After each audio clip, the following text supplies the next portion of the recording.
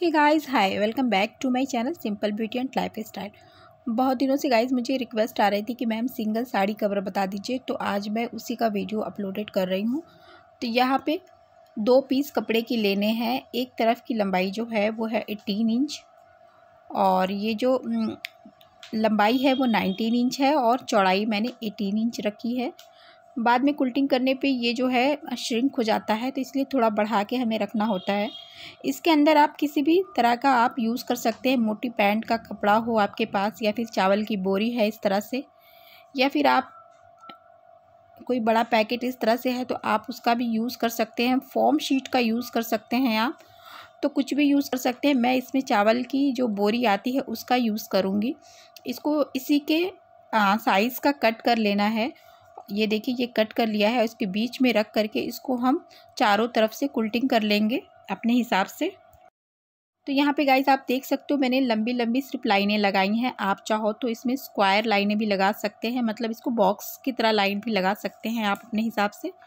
यहाँ पे मैंने दो शेड का धागा यूज़ किया है, इस, क्योंकि दो शेड का कपड़ा मेरा था, ऊपर की तरफ़ मैंने जो क्रीमी शेड है, उसका यूज़ किया है धागा और नीचे की तरफ़ मैंने मरून शेड यूज़ किया है पर्पलिश शेड जो मेरा है। और ये कुल्टिंग करके हमने रेडी कर लिया है। इसके बीच में हमने चावल की बोरी ऐड कर दी है। अब इसको नेक्स्ट स्टेप हमें करना है। तो नेक्स्ट स्टेप करने के लिए यहाँ से हम इसको मार्क कर लेंगे। ये टोटल हमारी लंबाई जो आ रही है, उसकी टोटल तो यहाँ से इस तरह से मैंने ऊपर से ये पाँच इंच का मार्क लगाया है जो आप लाइन देख रहे हो। ये पाँच इंच का हमें इस तरह से खड़ा करके मार्क लगा लेना और एक लाइन ड्रॉ कर लेनी है पूरे में।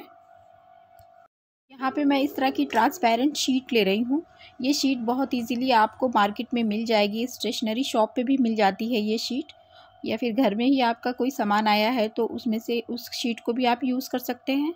जहाँ तक मार्क हमने लगाया है उतने ही लंबाई चौड़ाई में ये शीट हमें यूज़ करनी है। बाकी जो मार्क के ऊपर का हमारा फैब्रिक है उसको हमें छोड़ देना है। तो ये देखिए इस तरीके से मैंने इसको कट किया है लंबाई और चौड़ाई में। ये हमने ट्रांसपेरेंट शीट रेडी कर ली है।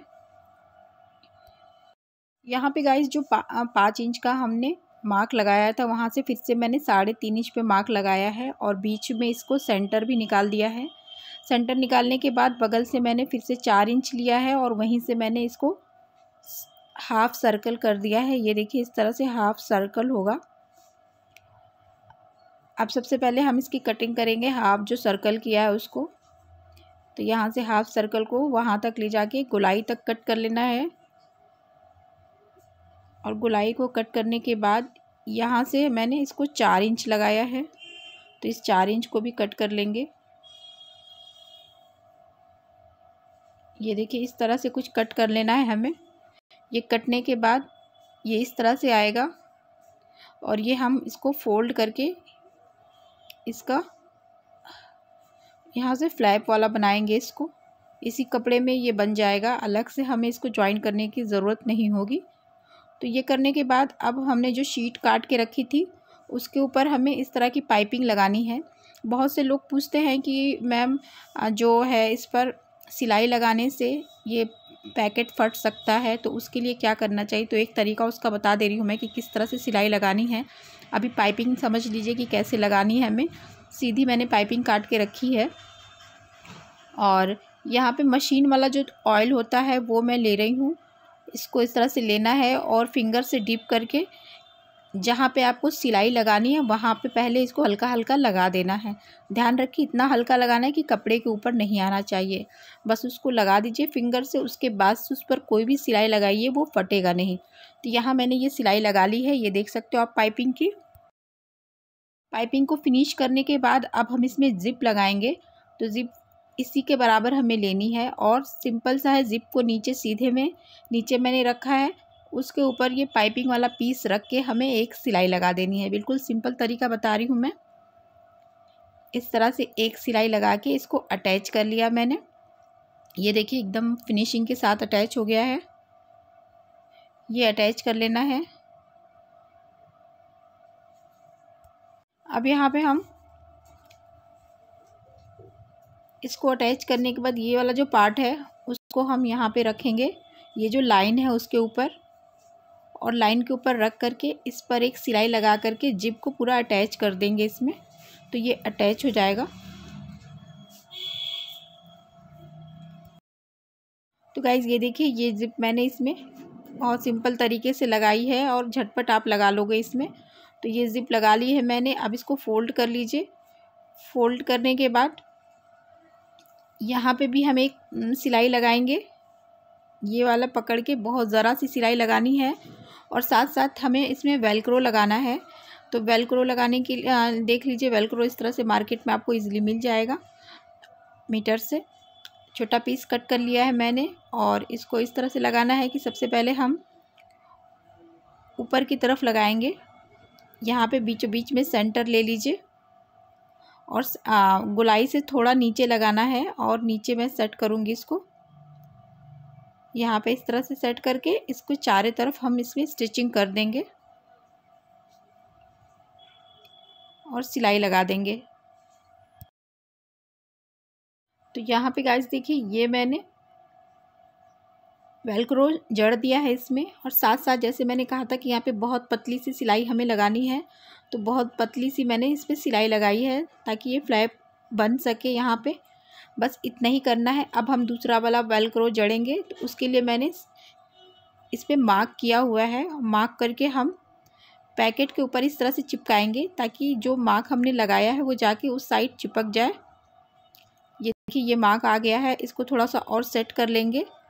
और सेट करके हम यहाँ पे वेलक्रो लगा देंगे। पिनअप कर लीजिए आप पहले। और दूसरा वाला वेलक्रो भी यहाँ पे लगा दीजिए। तो ये देखिए वेलक्रो मैंने यहाँ पे सेट कर दिया है। इस पर मैंने सिलाई लगा दी है। अब इसको सेट करते हुए चारों तरफ़ से हम कटिंग करके इस पर एक सिलाई लगा देंगे ताकि हमारा जो ट्रांसपेरेंट पैकेट है, वो सेट हो जाए इसमें। और साथ ही साथ यहाँ पे मैंने पट्टियाँ कट करके रखी हैं तो पट्टियों को सबसे पहले हम पीछे की तरफ़ लगाएँगे, जो हमने एक सिलाई लगाई थी, वहाँ पे सेट करेंगे। उसके बाद से इसी तरह की पट्टी हम चारों तरफ़ जितनी भी हमारी ओपन पार्ट है, उसमें हम लगा के इसको क्लीन कर लेंगे और जड़ देंगे पूरा। तो ये देखिए गाइस, ये मैंने पूरा लगा दिया है इसमें, ये देखिए, बहुत अच्छे से इस पर फिनिशिंग आ गई है। मैं चारों तरफ़ से दिखा दे रही हूँ आपको। इस तरीके से हमें इस पर चारों तरफ़ पाइपिंग लगा लेनी है। पाइपिंग लगाने के बाद ये मेरा साड़ी कवर बन के रेडी हो गया है। चलिए इसमें हम साड़ी डाल के देख लेते हैं किस किस तरीके से इसमें साड़ी आ जाएगी। साथ ही साथ आप इसको बंद भी कर सकते हैं। बिल्कुल ऑप्शनल है और इसको टू इन वन की तरह यूज़ करेंगे आप तो मैं आगे बताऊँगी कि किस तरह से टू इन वन आप यूज़ कर सकते हैं। तो यहाँ पे गाइस साड़ी को मैंने इतने ही बड़ा फोल्ड करके रखा हुआ है और इसको मैं इसमें सेट करके दिखा देती हूँ आपको। आप पूरी साड़ी का सेट भी इसमें रख सकते हैं और अपनी लम, साड़ी अगर बहुत हैवी है या दो तीन साड़ियाँ रखनी है तो इसी हिसाब से आपको साइज़ इसमें बढ़ा लेना है। ये देखिए। अच्छे से साड़ी इसमें एडजस्ट हो गई है।